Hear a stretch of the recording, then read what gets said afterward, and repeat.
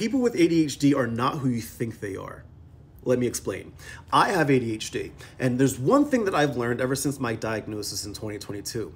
A lot of people with ADHD, including myself, we mask we mask our symptoms. So what do I mean by that? What I mean is that when we mask our ADHD symptoms, what we're doing is we are pretty much hiding the things that we struggle with every day and we're copying the behavior of people who don't have ADHD in order to fit in, or at least feel like we're fitting in and not standing out. I have the hyperactive type of ADHD, which means it has to do a lot with the, the fidgeting side of things. So I mask my symptoms all the time. I do things like I'll, I'll stay silent during conversations because I want to be very cautious with my words because I don't want to overspeak too much much. Sometimes I'll suppress my energy because I don't want to be too loud. I want to appear calm. And sometimes I'll just kind of bottle up these very strong emotions that I have because I don't want to seem too.